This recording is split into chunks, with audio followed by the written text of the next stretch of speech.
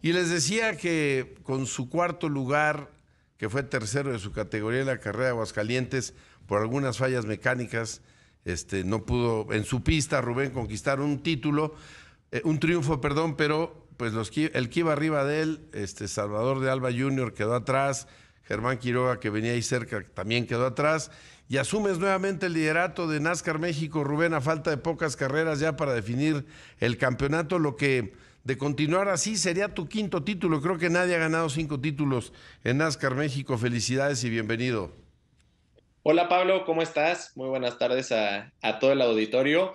Y sí, caray, la verdad es que el sábado en las prácticas me sentía muy cómodo con el trabajo que había hecho mi ingeniero Ramiro Fidalgo en el auto 88 y, creía que podía estar peleando por la victoria. Final de cuentas no se nos dio, pero lo que sí me dejó muy, con muy buen sabor, de boca es haber salido con la suma necesaria de puntos para regresar a lo más alto del campeonato.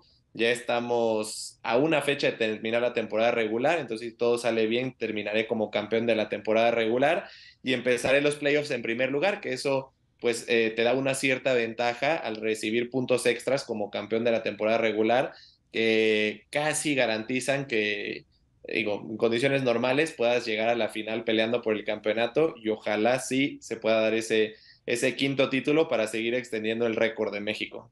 ¿Cómo estás, Rubén? Te mando un fuerte abrazo, enorme felicitación por lo que está ocurriendo, esta, esta racha de podios y la constancia que has tenido en la eh, temporada en general que ha sido extraordinaria y viene una pista en la que ya te fue muy bien esta temporada, viene Chihuahua y como mencionabas, eh, un, buen resultado te permitirá eh, llegar como el campeón de la temporada regular, tener esos puntos extras. ¿Qué me dices de la pista de Chihuahua y cómo te adaptas al manejo ahí? Insisto, después de que este año ya te fue muy bien en la tercera carrera de la temporada.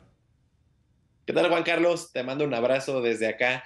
Pues mira, Chihuahua me gusta mucho. Chihuahua y Aguascalientes son muy parecidas, solo que Chihuahua es un poquito más chica, pero tiene un peralte importante. Eh, pasa de 20 grados en, en, el centro de las dos curvas y el tipo de piso es muy abrasivo a las llantas, es de concreto, entonces eso hace que el desgaste de las llantas sea fuerte.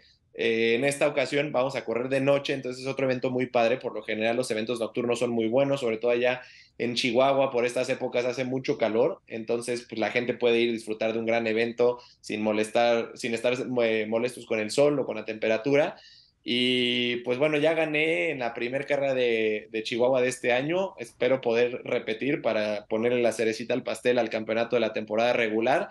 Y lo que trabajo con mi entrenador mental es, bueno, ya hicimos la tarea difícil, ya llegamos a, casi el final de la temporada regular en primer lugar del campeonato, entonces ahorita ya todo nuestro enfoque va a ser pensado en los playoffs y, me gustaría tratar como tal la carrera de Chihuahua como ya una carrera de playoffs para que empecemos a, trabajar en equipo eh, ya con la mente totalmente eh, alineada hacia la final.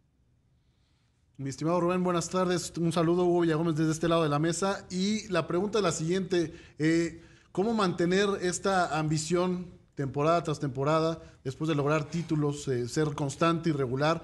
¿Cómo mantener este enfoque para seguir siendo eh, de los mejores en la competencia? ¿Y qué sigue para ti en tus sueños, en tus ambiciones? entiendo que estás concentrado ahorita en Chihuahua y, y me queda claro que tienes poco tiempo para pensar en lo que sigue, pero pero de tus sueños, de, lo que has cumplido poco a poco, Rubén, ¿qué sigue para ti como piloto?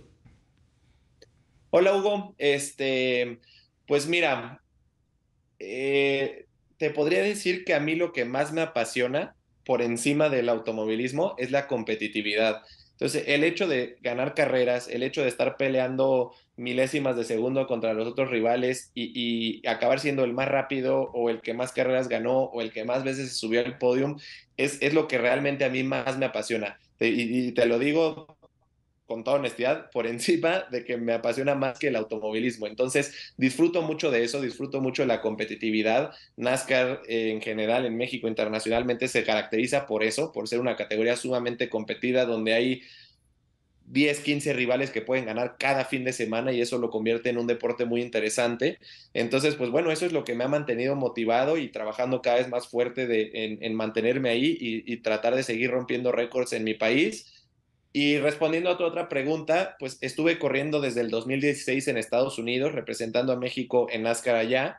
Entonces, eh, por una o por otra razón, entre la pandemia y, perdí ahí algunos apoyos, no he podido regresar a correr, pero eh, uno de mis objetivos principales, sumado al, a renovar el título de México, es regresar a correr a Estados Unidos y continuar mi trayectoria por allá.